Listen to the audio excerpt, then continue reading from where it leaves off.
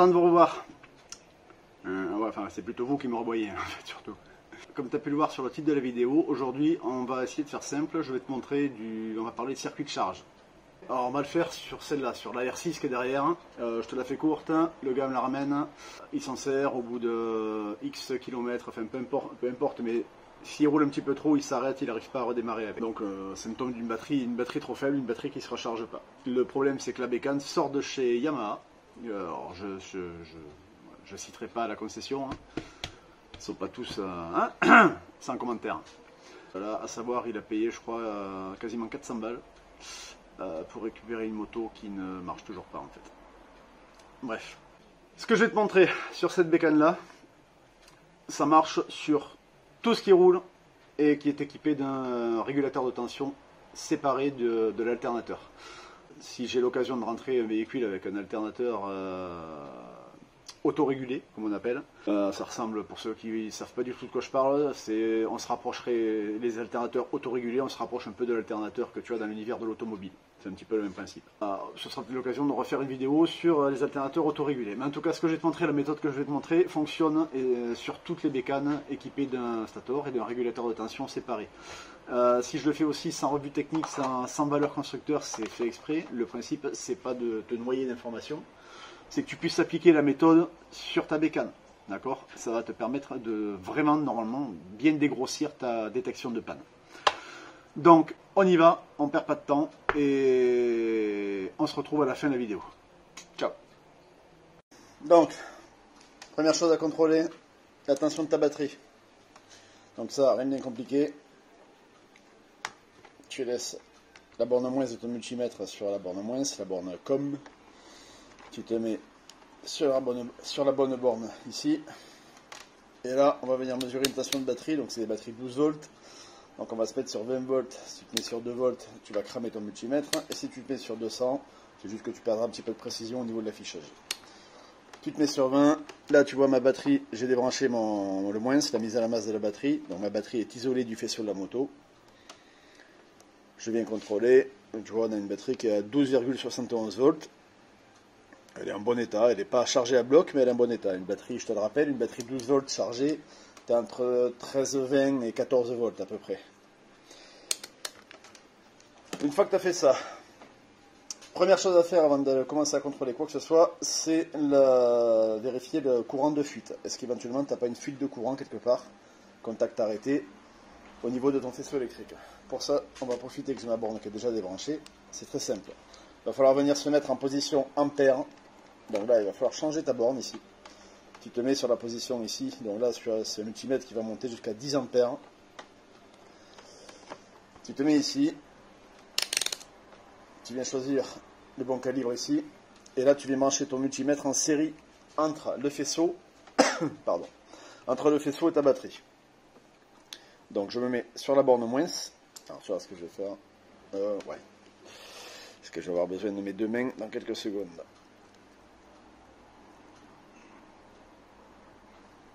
Tac.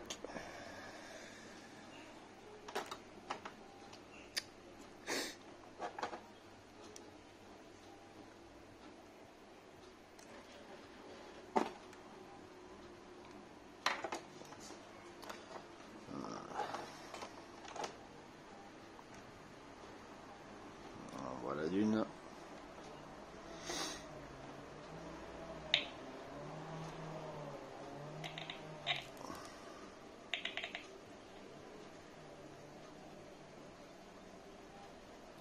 Allez, là j'ai rien qui touche. Donc tu vois là, moteur à l'arrêt, contact coupé, j'ai une conso de 0,09 ampères. D'accord? À titre d'exemple, si je mets le contact, donc à savoir, donc je vais éclairer quelques lampes au niveau de quelques lumières au tableau de bord. Hop, tu vois, de suite ma conso, elle augmente un petit peu. Là on est à 0,4 ampères. Alors là, je vais pas le faire, mais tu pourrais t'amuser à mettre un coup de démarreur. Tu verrais ici, ça va monter en flèche. Là, je vais pas le faire. Pourquoi? Parce que le démarreur, lui, consomme euh, beaucoup, beaucoup d'ampères, euh, facilement une trentaine d'ampères, même plus. Euh, je te le rappelle, je suis sur 10 ampères maximum. Si je le fais, je vais griller mon fusible dans mon multimètre. Donc ici, moteur coupé, on voit qu'on a une console qui est tout à fait normale. J'ai pas de fuite de courant, moteur à l'arrêt. On déconnecte tout ça. Et on va voir maintenant au niveau de ma charge combien ça me sort moteur tournant. Donc là, je vais devoir je vais feinter un peu parce qu'il va falloir que je débranche pendant que le moteur tourne ma borne. Donc là, pour la démarrer, ben, évidemment, j'ai besoin de la batterie. Donc je vais juste caler ma cosse. Le petit, l'espèce de bruit, je sais pas si on entendra sur la vidéo, l'espèce de bruit que tu entends là, ce bruit-là, euh, comme, un, crépitement, c'est la sirène de l'alarme. C'est une bécane qui est équipée, d'une alarme. Et c'est la sirène euh, qui en fait ne fonctionne plus très bien en fait, j'ai juste calé ma borne moins pour pouvoir démarrer. Donc là, je vais démarrer.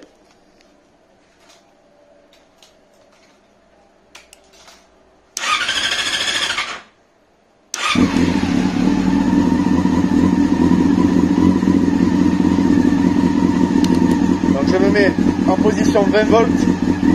Je viens contrôler, hop là, surtout tu, tu bien à changer ça.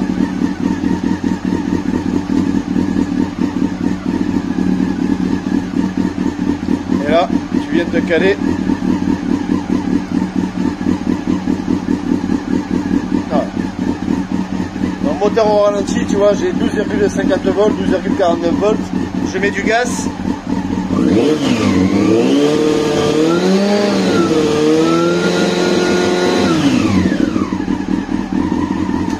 Donc comme tu as vu, on est monté. D'ailleurs, tu vois, on est encore on est en train de redescendre on aurait tendance à croire que mon circuit de charge il fonctionne, puisque je mets du gaz, ma tension, ma tension monte. Maintenant je vais te faire la même chose, sauf que pendant que le moteur va tourner, je vais déconnecter cette borne. C'est-à-dire, on va, là tout à l'heure, j'ai isolé ma batterie du, faisceau, et j'ai aussi là mon faisceau qui est, isolé, de la batterie. En fait, je vais contrôler la tension que j'ai dans mon faisceau, c'est-à-dire la tension qui est fournie par mon circuit de charge. Et là, tu vas voir qu'on va avoir des surprises. Je remets le contact.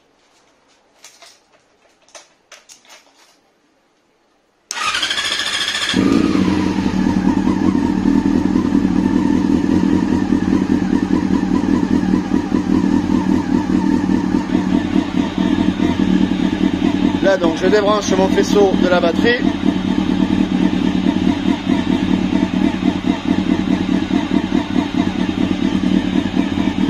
Et ça c'est la tension que j'ai sur mon circuit de charge. Le moteur au ralenti. Si je mets du gaz.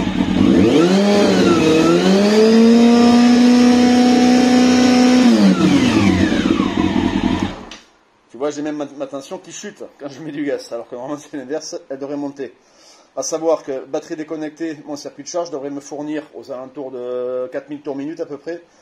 Ça devrait me fournir une tension entre 13,7 et 14 volts. C'est à peu près, c'est une moyenne, hein. ça va dépendre des constructeurs. Mais on est à plus de 13 volts en tout cas, ça c'est sûr. Donc là déjà, ma batterie, bon, elle, elle, elle est correcte. Par contre, on a clairement un problème au niveau du circuit de charge. Alors maintenant, je défais tout mon attirail là, pour déplacer la caméra et je te montre comment on va venir contrôler le, stator et le régulateur. Allez, on se retrouve. Allez, on continue. Donc là, je viens juste de dévisser le régulateur du châssis euh, sur les R6, enfin, sur, sur, ce modèle-là, en tout cas, 2002. Il est fixé juste derrière la batterie. Ce qui m'intéresse, c'est que tu vois à quoi ça ressemble. C'est une pièce en métal, des ailettes, une connectique tu localises ça sur ta moto, il y a de grandes chances que tu, euh, que tu aies trouvé ton régulateur de tension. Il y a toujours, toujours des ailettes de refroidissement dessus. C'est une pièce qui va convertir du courant alternatif en courant continu. Et euh, ce processus, ça chauffe. Donc il a, besoin d'évacuer la chaleur par le biais d'ailettes. Donc voilà à quoi ça ressemble. Ici tu as la borne qui se branche sur, le régulateur. Et là, il y a un premier indice. On voit que clairement ça a chauffé. J'ai deux, deux cosses ici qui ont chauffé. Alors, les cosses qui ont chauffé, ce sont ces deux cosses-là, enfin ces deux fils-là, pardon, les fils à droite et gauche, des, trois fils blancs. Ces fils-là, tu sais peut-être pas où ils vont, je te le dis, ça va directement au stator. En fait, ce sont les fils qui sortent de ton stator d'allumage. Donc euh, on pourrait se dire naturellement qu'on a peut-être grillé ou quelque chose qui a surchauffé au niveau du stator. On va contrôler ça. Je vais t'expliquer comment on fait. Sur, le, sur la cosse, donc sur le, régulateur aussi, tu vas retrouver sur, euh, sur celui-là, tu vas retrouver donc 5 fils, 3 fils identiques, donc là c'est 3 fils blancs, à savoir que euh, tu, tu peux très bien retrouver 3 fils jaunes, 3 fils marron ou orange fluo, on s'en fout. Très souvent, tu vas avoir trois fils de la même couleur. Ce sont des allumages triphasés. Tu as, je te la fais simple, tu as trois bobines, on va dire, à l'intérieur. Donc, chaque fil correspond à une bobine. Mais tu as toujours, sur du triphasé, tu auras toujours trois fils qui sortent de ton stator d'allumage. Donc ça, c'est ce, qui va, c'est ce qui sort de ton stator et qui rentre dans ton régulateur. En sortie du régulateur, tu vas retrouver le fil moins, le fil plus qui partent se connecter au faisceau et ensuite, bien sûr, à la batterie. Ça sert à alimenter ton faisceau et à recharger ta batterie. Premier contrôle qu'on va faire, on va déjà vérifier les bobines du stator. Pour ça, rien, de bien compliqué. C'est un contrôle de continuité. Ça se fait moteur à l'arrêt, batterie débranchée. Donc voilà, tu ne le verras pas sur de l'écran, mais j'ai ma, Cosmo, ma Cosmoin qui est bien déconnectée. Ton multimètre, tu te mets en position mètre. Ok, en position mètre, en fait, c'est pour ceux qui ne comprennent pas du tout, c'est comme ça que tu vas savoir si un fil est coupé ou pas. Là, c'est comme si ça c'était un seul fil, d'accord? Là, il est coupé. J'ai mon fameux i, d'accord Pour ceux qui ont suivi, j'avais déjà fait une vidéo euh, qui expliquait ça. Donc ça, c'est le fameux i de infini, c'est une valeur infinie puisque mon fil est coupé. Là, je fais contact, on a une valeur, un homme qui s'affiche. Pour contrôler la continuité, c'est pas compliqué. Ça, je te l'ai dit, ce sont des fils qui vont à tes bobines du stator d'allumage. Ces bobines, elles sont censées être isolées de la masse. C'est-à-dire que si je fais contact, par exemple, prenons ici, celle-là. Là, je me mets sur ma cosse. Si je me mets à la masse, alors tu prends un point sur le châssis ou autre, euh, top, c'est du bon vieil acier. Là, tu vois, je me mets sur l'axe, tu le, veux, tu le verras peut-être pas, ah si. Je me prends sur l'axe sélecteur ici. Ok T'évites de prendre sur la lue. Alors ça, marche, hein, ça va, tu auras une valeur qui va s'afficher, mais bon, la lue est un peu moins. Bref. Je te conseille de prendre sur de l'acier. Donc là, j'ai pas de fil coupé, j'ai bien ma première bobine qui est bien isolée de ma masse. Si j'avais eu une valeur, euh, si tu fais, donc si tu fais ce contrôle, tu te mets sur ta bobine et, et à la masse, et que sur sur l'écran de ton multimètre, tu as quelque chose qui s'affiche, c'est pas bon. Ça veut dire que tu as un fil qui est coupé, cramé ou quoi que ce soit entre une bobine et ta masse. Donc sur la première bobine, on est bon. On fait pareil sur la deuxième bobine.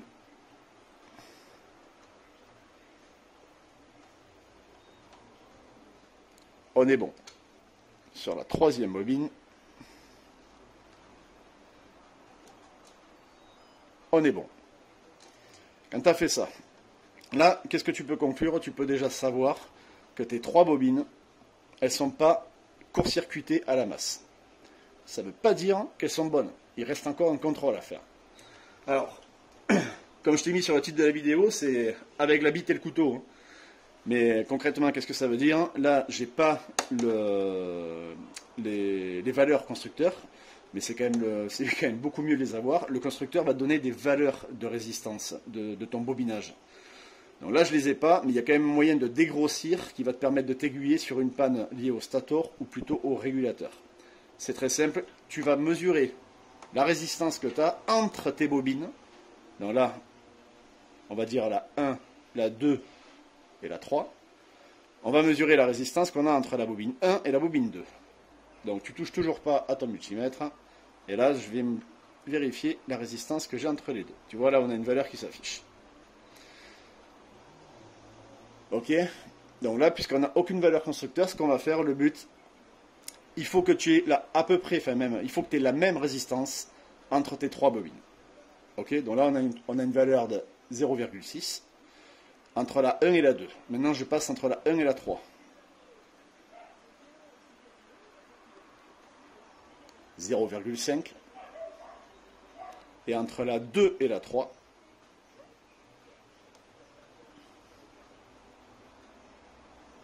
0,6.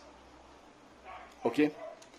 Alors, tu vas me dire, ah, c'est en panne, on n'a pas la même valeur, on a trouvé un 0,5. Il faut savoir une chose, la résistance va, enfin, elle dépend de beaucoup de paramètres. Elle va dépendre du diamètre du fil électrique, de la température. Ça, ça joue. Là, tu refais le même contrôle en plein hiver par moins 10 degrés, tu ne trouveras pas les mêmes valeurs. Elle va dépendre aussi de la longueur du fil. Plus ton fil est long, plus il y aura de résistance. Donc, tant qu'on trouve des valeurs très proches, au niveau de la continuité et des valeurs de résistance, on est tout bon. Donc là déjà, je peux dire que mon stator, il est bon. Il reste un contrôle à faire. On va vérifier combien de volts il me sort mon stator. Puisque le stator, c'est ni plus ni moins qu'une usine à produire de l'électricité. Mais il produit du courant alternatif. Donc ça, tu vas voir. J'espère que le multimètre va rester en place, parce qu'il tient un peu d'équilibre. Je vais démarrer la bécane. Et je vais venir contrôler la tension que j'ai, pareil, entre chacune de mes bobines. Là, je te l'explique maintenant parce que j'ai peur qu'avec le bruit de la moto, on n'entende pas bien. Toujours pareil, on n'a pas de valeur constructeur, mais il faut être logique. Mes trois bobines doivent sortir à peu près la même tension. Si par exemple j'ai entre la bobine 1 et la bobine 2, d'accord Si j'ai euh, du 80 volts et entre la 2 et la 3 j'ai 10 volts, c'est sûr et certain, là par contre, mon stateur il y a un problème. Donc, je ne peux pas te donner une valeur, euh, te dire voilà, il faut qu'on trouve tant, puisque je n'ai pas les données constructeurs. Mais par contre, il va falloir qu'on trouve à peu près, à quelques volts près, la même valeur entre chacune de mes, chacune de mes bobines. Allez, c'est parti. Voilà, je referme mon circuit en mettant ma cosse, la masse sur ma batterie. Et je démarre. Donc là, il va falloir se mettre très important sur une tension, sur un voltage en courant alternatif. D'accord? On va se mettre sur 200 volts. Et c'est parti. Donc pareil. On va dire 1, 2, 3. Entre la 1 et la 2.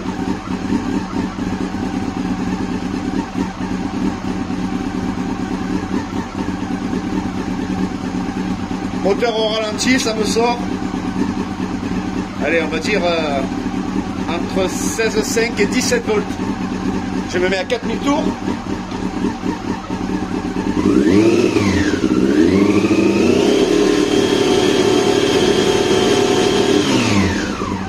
À 4000 tours, je suis à 70 volts. On va faire pareil entre la 1 et la 3.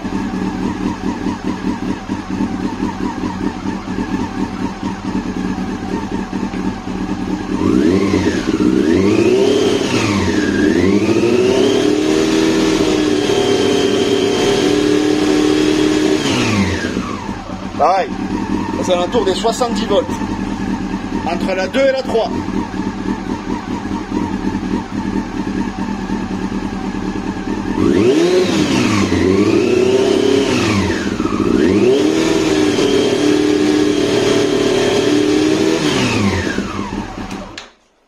Pareil, tu as vu 70 volts, aux alentours des 70 volts. Donc déjà là, mon stator, pour moi il est clean, il n'y a pas de défaut. Donc voilà, quand tu es sur un circuit de charge et que tu veux contrôler ton circuit de charge et surtout savoir quelle pièce remplacer, hop là j'ai bougé, non c'est bon, et surtout savoir quelle pièce tu veux remplacer, ça sert à rien dans le doute de remplacer euh, deux pièces qui valent euh, plusieurs centaines d'euros chacune. C'est soit un problème de stator, soit un problème de régulateur, soit un problème de batterie, éventuellement un problème de faisceau, d'accord? Très souvent, très souvent, c'est ton régulateur qui va cramer. Le régulateur, j'avais fait une Suzuki il y a quelques temps de ça.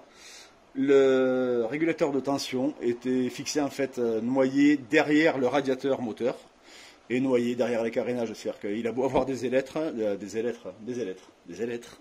Il a beau avoir des ailettes, euh, il refroidit pas en fait. Et il surchauffe, il finit par griller. Donc là, juste pour te montrer ce que je vais faire, puisque j'ai reçu, alors tu t'en doutes évidemment, tout ça je l'avais fait avant, j'avais commandé la pièce.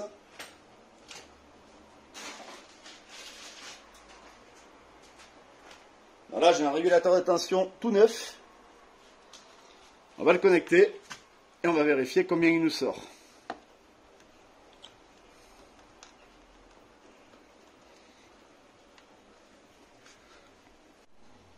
Ouais, on revient pour le contrôle donc avec le nouveau, euh, nouveau régulateur. On démarre.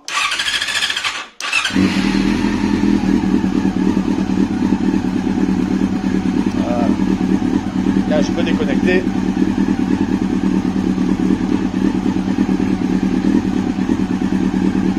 Et là,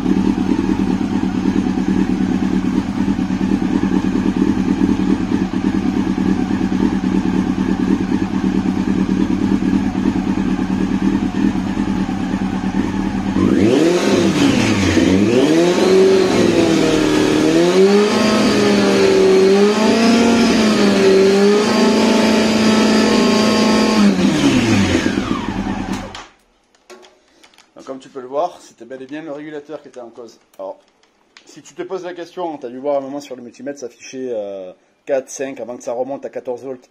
C'est juste, euh, c'est moi qui devais faire mauvais contact ici en fait. hein. C'est tout. Mais là, on a bien un circuit de, circuit de charge opérationnel. Bon, j'espère que ça t'a plu, hein, que tu as, pu comprendre quelque chose. Euh, je voulais prendre 5 minutes, vite fait. Euh, les vidéos, alors, euh, à ma grande surprise, il y a quelques vidéos sur ma chaîne qui ont, eu- qui ont bien marché, qui ont l'air de vous avoir plu. Donc, euh, je réfléchis sérieusement à en refaire euh, plus régulièrement, on va dire. Le truc, c'est que c'est, je te le cache pas, c'est compliqué déjà, ben, rien qu'au niveau du temps, c'est compliqué de gérer le temps à consacrer à faire des vidéos. Mais euh, je vais essayer de prendre sur moi, de le trouver ce temps-là, on verra. Ça, pour l'instant, première chose. Deuxième chose, n'hésite pas à laisser un commentaire si tu as des questions. Alors, j'y réponds, j'essaie d'y répondre quand les questions sont pertinentes. Et euh, par contre, euh, tout ce qui est question du genre, euh, j'ai ma moto euh, qui fait ratata, ch'ti, boum quand je suis à 3000 tours minute par moins 3 degrés et le vent dans le dos. Je suis mécano, pas magicien, c'est-à-dire que je peux pas vous faire des détections de panne à distance, d'accord? C'est pas possible. Là, je peux, ça sera avec plaisir. Si je peux vous aider, je le ferai avec plaisir. Mais ne me demandez pas de trouver une panne à distance, c'est pas possible. D'accord? Euh, Dernière chose que je voulais dire, n'hésitez pas à laisser en commentaire des sujets de vidéos que vous voudriez voir. Moi, voilà, ici à l'entreprise, je rentre euh, du boulot quand j'en rentre. Mais c'est vrai qu'il y a pas mal de choses. J'ai beaucoup hésité avant de refaire des, vidéos. Parce que je- je rentre parfois des pannes qui sont intéressantes. Mais euh, n'hésitez pas à me laisser en commentaire la- si vous voulez voir, euh, si vous voudriez que je traite un sujet en particulier. Si je peux le faire, je le ferai avec plaisir. Ah, il y a les pompiers qui passent. Si je peux le faire, je le ferai avec plaisir. Si je peux pas le faire, ben, euh, je le ferai pas. D'accord? Euh, Après tout, c'est ma chaîne et je fais bien ce que je veux. Bref. Sur ce, les gars, je vous dis à la prochaine. Les gars, les gars, les gars et les filles, hein. tout le monde quoi. Je vous dis à la prochaine. Je sais pas qu'est-ce que ça sera. J'espère que celle-là elle vous a plu. Et ben voilà, faites-le moi savoir, n'hésitez pas. Vous lâchez petit commentaire, ça fait toujours plaisir. Ciao tout le monde